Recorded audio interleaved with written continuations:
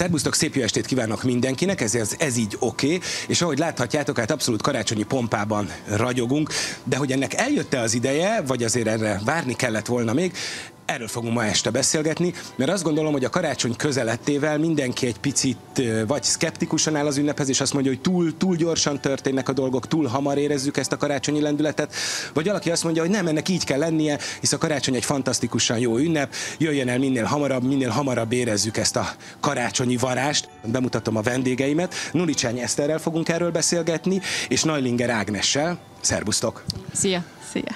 Egyszerűen annyira hamar érkezik meg az ünnep, hogy, hogy ennek elveszett a misztériuma. Elveszett az, hogy mi 24-én látunk először feldíszített karácsonyfát. Vannak ismerőseim, akik december elején feldíszítik a karácsonyfát, hogy minél hosszabb időt tudjanak a társaságába eltölteni. Jó ez nekünk, vagy nem jó? Azt gondolom, hogy marketing szempontból azt fogod mondani, hogy csodálatos.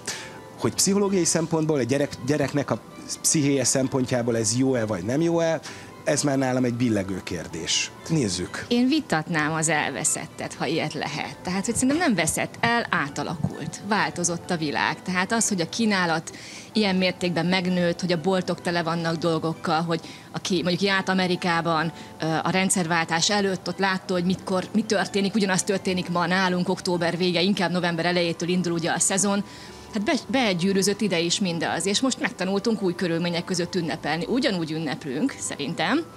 A fogyasztásunk az ebbe egy fontos pont, természetesen. Fogyasztással szerzünk be egy csomó mindent, ami, ami rendjén van abból a szempontból, hogy egy ilyen világban vagy egy ilyen társadalomban élünk.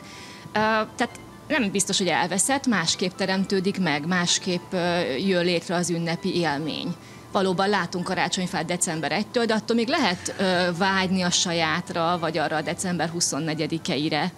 Ebben biztos igazad van, de azért azt gondolom, hogy azért ez nagyon sok terhet is róng ránk. Ez így Tehát van. ez a fajta fogyasztás. Igen. Mert, mert egyre nagyobbak az igények, egyre több az igény, és hát azért ezekért az igényekért meg kell dolgozni, tehát uh-huh. akár egy szülőnek, akár egy társnak is, ha most nincsenek gyerekek, de hát azért ez az időszak egy, egy, egy stresszes időszak. Tény és való, a nyomás nagy. Ezt a kutatások is mutatják, hogy a karácsony minden szépsége mellett stresszel jár. És ilyen szempontból a marketingnek valahol az is dolga, hogy erre figyeljen, és ne a stressz növelje, hanem próbálja az ünnepet jobbá, meg kényelmesebbé tenni. És akkor erre is vannak bizonyos megoldások. Most mondok akkor egy példát, most lehet, hogy nagyon a, így a közepébe vágva a dolgoknak, de a kész és félkész ételek fogyasztása, hogyha trendeket nézünk, akkor az abszolút megnőtt valahol ez levesz a terhet a várról, nem? Hogyha nem én a pontyot, hanem valaki más kirántja a pontyot, akkor az annyival kevesebb teher a család részére. Hogyha ez a pontykirántás nagyon fontos rítus és központi eleme az ünneplésnek, akkor persze kár, hogy elveszik.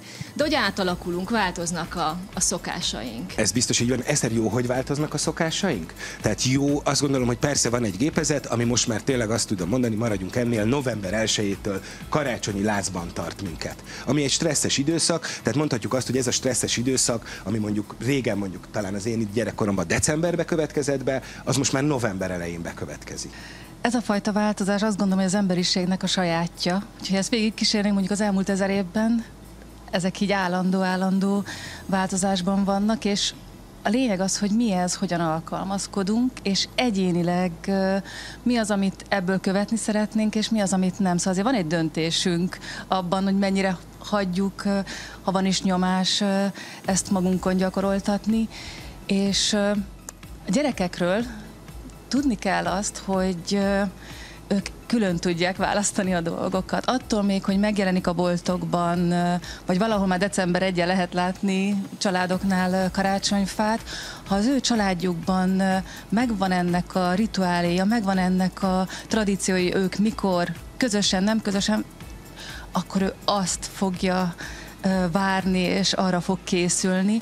Aztán persze jön már az a életkor, amikor ezt így elkezdi összekötni, hogy miért is van náluk?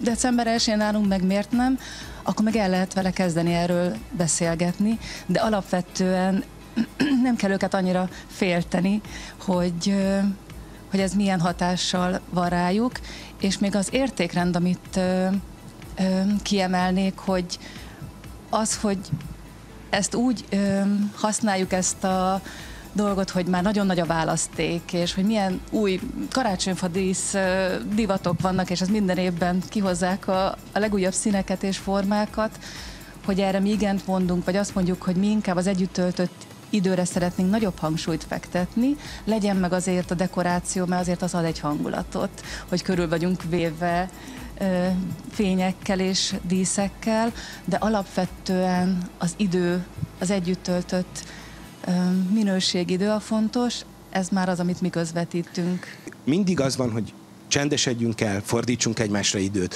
Az a legszebb ajándék, ha időt tudunk ajándékozni egymásnak, és ez például nálam beszokott válni, mert ez a, a legkevesebb, de közben a másik oldalról viszont kapunk egy hihetetlen erős nyomást arra, hogy fogyasszunk, hogy vásároljunk, hogy a karácsonyfánknak új divatja van, tehát hogy tavaly pirosba öltöztettük, de idén a, a bézsa menő, és akkor abba kell öltöztetnünk. Tehát, hogy egy, egyik részről egy hihetetlen nyomás van rajtunk, a más, másik részről pedig azt mondják, hogy engedd el a nyomást, a karácsony nem erről szól. Tehát, hogy lehet megtalálni az arany középutat, és nagyon jó, hogy a gyerek le tudja választani, de azt gondolom, hogy egy gyerekes szülő, vagy egy kisgyerekes szülő, az valahol menekül a saját múltjába, azt a karácsonyt szeretné megteremteni a gyerekének, ami neki fantasztikusan jó volt, jól sikerült, jól érezte magát benne, mert hát ugye ahhoz nyúlunk vissza. Azt a karácsonyt ezek szerint már nem lehet megteremteni, tehát vagy nagyon, nagyon nehéz és hatalmas áldozatok árán, fogadjuk el a világ változását, nyugodjunk bele, hogy ez ilyen, ilyenek lesznek a karácsonyaink? Azért a magyarok hagyományozőek, tehát ezt így azt gondolom, hogy talán ki lehet jelenteni. Ez azt jelenti, hogy nagyon sok szokást megtartanak, ugyanúgy díszítik a karácsonyfát, vagy ugyanúgy díszítenek, vagy van egy terítő, amit csak ilyenkor vesznek elő, mert az a karácsonyi terítő hogy bizonyos ételeket fogyasztanak. Ugye senkinek nem okozna gondot felsorolni a top három karácsonyi ételt. Ha én mondjam, akkor a beigli, töltött káposzta halászlé. és a halászlé. Tehát, hogy ö, ezek a hagyományok ott vannak. A díszítés az egy egyre népszerűbb dolog. Uh, és akkor a meglevő díszeink mellett, csak hogy hagyományokat őrizzünk, színesítünk új díszekkel. Mondjuk van az a dísz, ami mindig fölkerül a fára, mert a gyerek ragaszkodik hozzá, vagy én ragaszkodom hozzá, vagy valaki a családból ragaszkodik hozzá, és akkor amellett lehet, hogy vannak alternatív díszítések, amik majd követik a trendeket hogy amúgy meg más részeket lakásban, azt meg az aktuális ízlésem, vagy az a boltok kínálatában megtetszett választék kiválasztása után fogom kialakítani. Tehát ez, ez lehet nagyon jól kombinálni, és ez a kombinálás tényleg ott van. Az, egyébként az ételekben is ott van. Ott van a beigli, és ott vannak az egzotikus dolgok. Tehát a kínálat növekedése az úgy jelenik meg majd mondjuk az ünnepi asztalon, hogyha étkezésbe fordítom le, hogy megmaradnak a hagyományos ételek, ami, ami nagyon fontos, így a közösség, meg a család, meg a ritus, meg minden szempontból, nagyon jó, hogy így van, és bejönnek színesítésként az új dolgok. Oké, okay, de akkor most Eszterhez fordulok, hogy ez nem még több stresszt okoz nekünk? Tehát mert a beiglinek ott kell lennie. De azért legyen benne egy picit, mit, karácsonyi makaront is sütünk. Persze kell a halpatkó, de a gyerek nem eszi a halpatkót, neki csinálunk hasonlót. Tehát mire 24-ére oda jutunk az asztalhoz, fel van díszítve a fa, ott vannak az ajándékok, én, a, néha én is azt érzem, hogy annyira kipukkant állapotban vagyunk, hogy igazán már az ünnep megélése az már szinte egy lehetetlen feladat. Nem azért csendesedünk el, mert karácsonyban, hanem mert hogy elfogyott belőlünk az energia. Úgy látom, hogy a mai kor emberének a maximalizmus az egy um, eléggé jelenlevő tulajdonsága lett, hogy szeretnénk a legjobbat megteremteni, a legszebbet, és ahogy hat ránk az, hogy mi is a legújabb trend, ez be fog épülni, hogy ezek szerint az a legszebb, és ezt érdemes végig gondolni, hogy ebből mennyit engedünk be, és hogy az előbb említettem ezt a minőségi időt, hogy jó, vegyünk néhány új díszt, de hogy utána ne azzal a görcsösséggel tegyük fel, hogy még akkor ez gyorsan, van rá fél órám, hogy feldíszítsem a fát, mert utána ö, el kell készítsem az ételt, még takarítani is kell, még neki se láttam, hú, az emeletre fel se jutottam. Ne ebbe menjen át a karácsonyi készülődés, hanem, hanem hogy akkor együtt feldíszítjük. Készen vagyunk, kezdjünk el, és addig jutunk, ameddig jutunk, úgy is bele fog férni, mert nem gondolom, hogy nem fér bele, csak hogyha ezzel a elképesztő stresszel, akkor én több kamasztól, vagy ők már ezt tényleg meg tudják fogalmazni, hallottam, hogy ők nem szeretik a karácsonyt, és ezek miatt a, a hangulatok miatt nem, mert hogy az év legstresszesebb napja, a karácsonyfa díszítés meg a takarítás miatt, hogy ebben nem menjen át, és ez független attól, hogy pontosan milyen díszt veszünk. Lehet, hogy a tavalyi díszsel is ugyanezt a stresszt elő tudjuk állítani. És érdekes, hogy hogyan reagálnak erre az emberek, vagy milyen megoldásaik vannak a stresszkezelésre. Tehát ahogy már az előbbi példát mondtam, persze egészségügyi jogból vitatható, de bejöhetnek az ilyen félkész készételek, vagy étteremben vásárolt étel. Ugye ez akkor kevesebb gond van, mint hogyha ez egy tudom, tartósítószerrel tele dolog lenne. Vagy megjelentek a wellness programos megoldások. Hogy valaki azt mondja, hogy oké, okay, én kivonom ebből az egyenletből magamat, és úgy döntök, hogy úgy tudom kezelni ezt a stresszes problémát, hogy arra a 3-4-5 napra elvonulunk. Tehát, hogy van döntés, az egyén kezébe vannak megoldások, persze nem mindenki teheti meg, de azt megtehetem, hogy nem stresszelem magam, vagy azt mondom, hogy jó lesz a tavalyi dísz idén is, és azzal nem foglalkozom, és épp elég a főzésnek, a, vagy a nem tudom, egyéb dolognak a nyűge, ami, amihez meg ragaszkodom. És a tavalyi járványos időszak hozott is egy, egy változást ebben a, az emberek életében. Azt tapasztalom, hogy akkor nem mehettek nem volt meg ez a nagy családoli, családi látogatásos körtúra, és így rájöttek, hogy tudtak ünnepelni. És Igen. valahogy ezt szeretnék idénre is behozni. Hát én nagyon bíznék benne, hogy ezt szeretnék idénre is, de azt látom, hogy hihetetlen gyorsan tudunk visszarázódni abba, abba a kerékbe, amiben előtte is benne, benne voltunk. Tehát, hogy, hogy hogy ahogy most nézem, azt gondolom, hogy megint egy őrület lesz a karácsony, nem igazán a tavait fogja követni.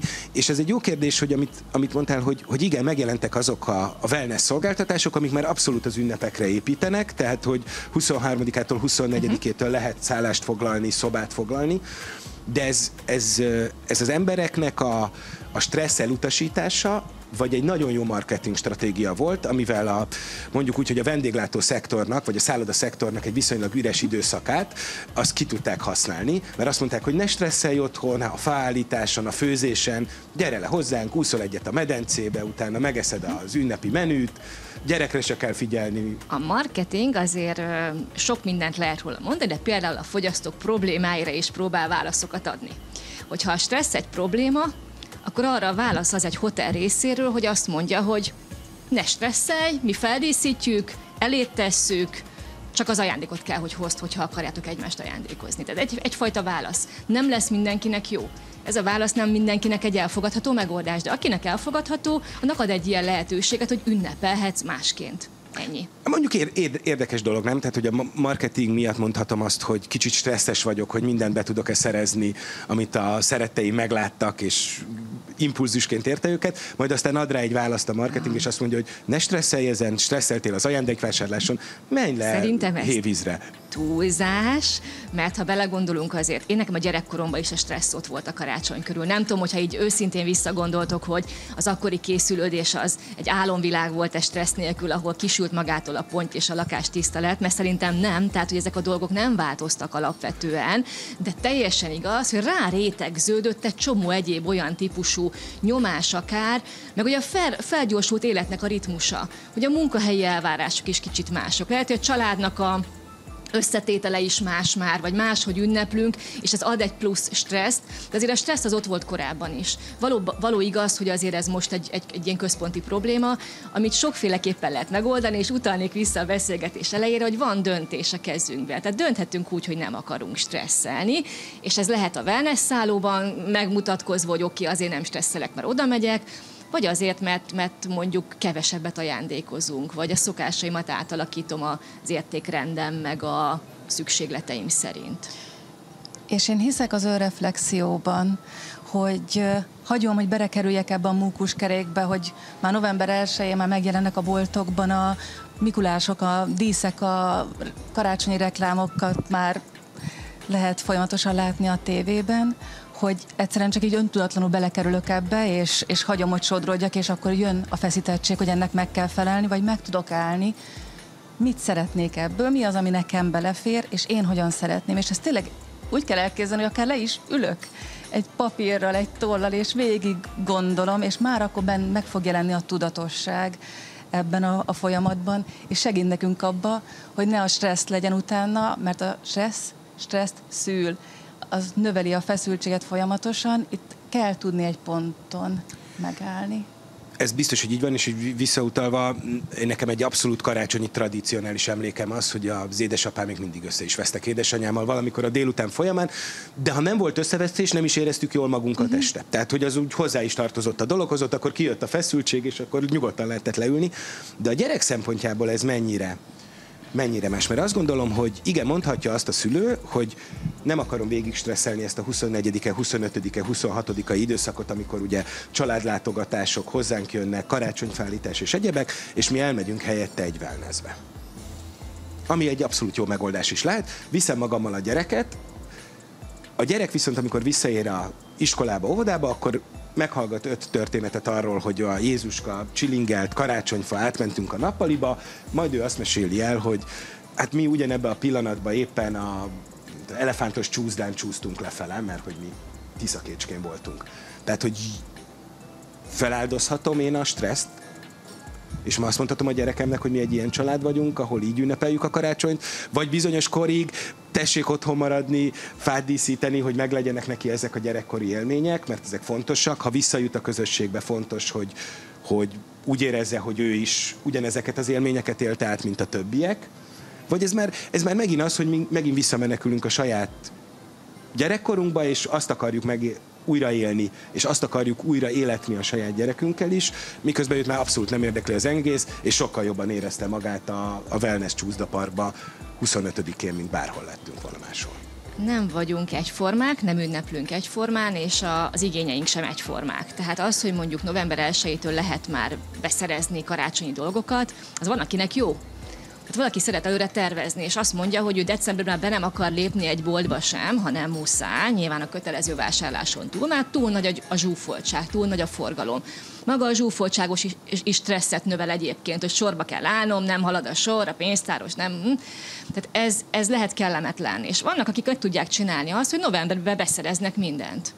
És egyébként ez annak is jó, aki decemberbe szerzi be, biztos ismer mindenki, aki december 23-án megy ajándékot vásárolni, én ismerek ilyen embereket, de most ott tényleg zsúfoltság van. De most képzeljük el, hogyha a novemberben vásárlók is decemberben vásárolnának. Még rosszabb lenne. Tehát milyen jó, hogy a fogyasztás egy része azon emberek számára, akik szeretnek előre készülni, el akarják kerülni a tömeget, mert így döntöttek hogy nekem ez fontos, de úgy időzítem, ahogy nekem megfelelő. Azok meg tudják tenni ezt már egy korábbi időpontban. Na jó, de akkor erre mondhatnánk azt is, hogy miért nem augusztusba kezdjük ezt az egészet, és akkor szépen széthúznak augusztus, szeptember, október, november. Könnyű a válasz erre. Azért kereskedelemben vannak periódikák, és a jó hír az, hogy nagy eséllyel október elé nem fog kerülni soha a karácsony, méghozzá azért, mert szeptember foglalt, back to school, iskolakezdési időszak van, ugye? Tehát az a legfőbb esemény a családok életében, és a kereskedelemben is ehhez kell eszközöket adni. Tornacipő, nem tudom én, füzettól, stb. Jön a minden szentek Halloween, annak a misztikájával, sztoriával, eszközeivel, akkor azok vannak kint a kereskedelemben a fő tereken, utána jön a többi. Utána jön a Mikulás, Tehát és utána jön a. Mert hogy a Halloween nem sosem kéne. fogja megelőzni Valószínűleg a nem gondolnám. Lehetnek ilyen innovációk az ünnepekbe, de kis valószínűséget gondolnék. Közeleg a Mikulás, tehát hogy pillanatokon belül itt van, azt gondolom ez is ez, ez az első nagy ilyen karácsonyi uh-huh. mondjuk impulzus, ami éri az embert.